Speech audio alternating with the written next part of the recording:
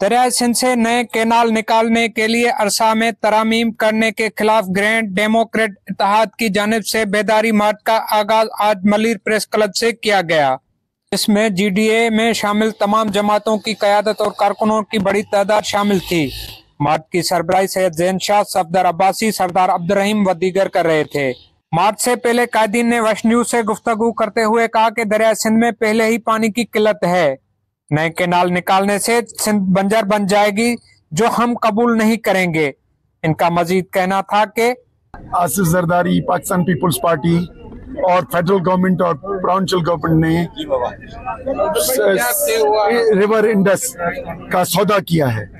और चोलिस्तान और ग्रेटर थल कैनाल में के 36 लाख एकड़ उधर आबाद होंगे। तो हम समझते हैं कि इसको रोकने के लिए हम लोगों में बेदारी के लिए जा रहे हैं। लोगों की को पूरे सिंध में बेदार करेंगे और गुर्रम अवामी एहतजाज ऐसा करेंगे ये फेडरल गवर्नमेंट ने इस्टेब्लिशमेंट मिलिट्री इस्टेब्लिशमेंट ने और जरदारी ने जो गद्दारी करके जो फैसले किए ये वापस जब तक नहीं लेता तब की जदोजहद जारी रहेगी हमारा मकसद ये है कि सिंध के पानी को की हिफाजत करें और सिंध का एक कतरा पानी भी जो है हम बेचने नहीं दें जो कि जरदारी साहब ने ऐवान सदर में बैठ के फैसले कराए कि छह कनाल निकालेंगे रिवर से दरिया सिंध से, वो अवाम को, सिंध की अवाम को मंजूर नहीं है।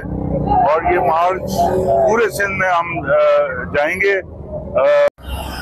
दरिया सिंध से नए कैनाल निकालने की कोशिश, सिंध को बंजर बनाने की कोशिश है। कैमरामैन कदीर बलोच के साथ शानवाशर वश न्यूज़, मलिर।